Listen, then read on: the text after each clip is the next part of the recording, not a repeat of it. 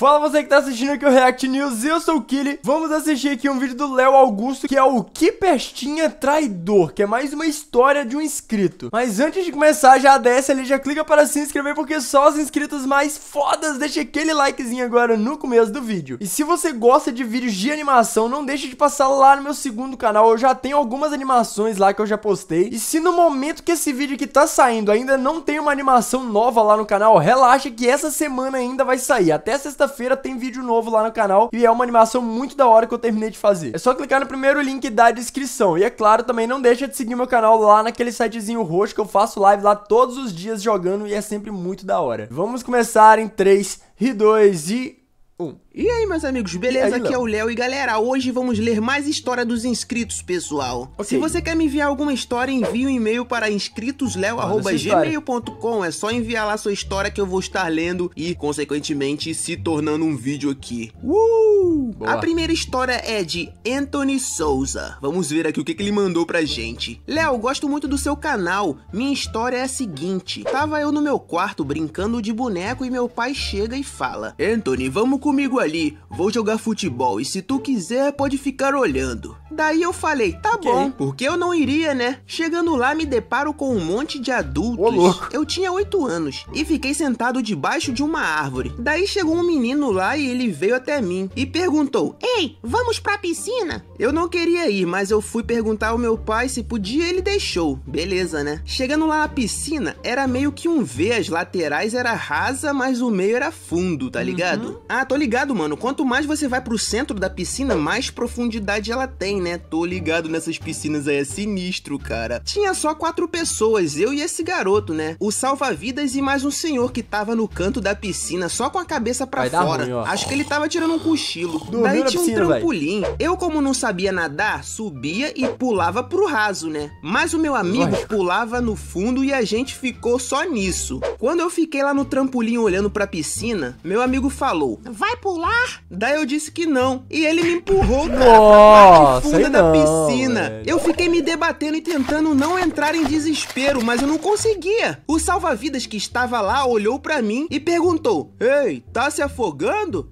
Daí eu falei, né, com muita dificuldade, Não, não, engolindo não. água. O salva-vidas veio vindo assim, bem lento, né, como quem não queria trabalhar naquele dia, mas conseguiu me tirar da piscina. O cara não ajuda. Uh, Fiquei com trauma, mano. Caraca. O pai dele ficou sabendo e brigou com ele, né? Por ter me empurrado lá pro Lógico. meio da piscina pro lugar fundo, né? Caraca, mano. Quase que eu me lasco ali, hein? Eu nunca mais vi esse garoto na vida. Tá Obrigado por ler minha história, Léo. Caraca, mano. Que história sinistra, velho. Quase você morre afogado ali por uma atitude louca desse garoto, né? Não é por Meu causa de outra Deus. pessoa, esse velho. salva-vida aí que demorou um século pra te salvar. Caraca, mano. O que que ele tava fazendo? Tava no celular, no Tava no Instagram? O que, que ele tava fazendo? Tinha que ir logo correr atrás de tu, mano. Largar tudo e te salvar logo lá, né? O trabalho dele é esse.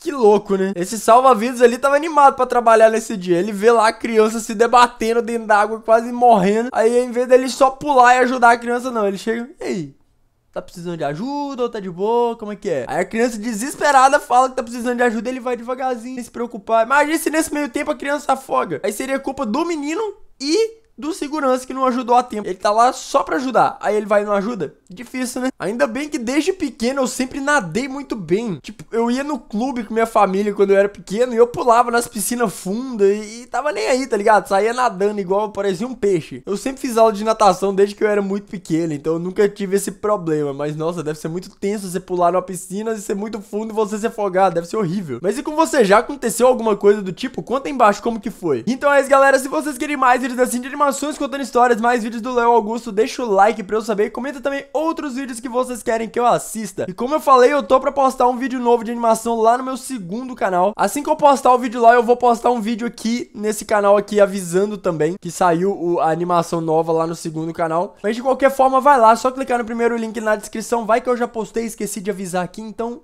já fica o aviso. Vai lá e confere. Então é isso, eu espero te ver no próximo vídeo e tchau.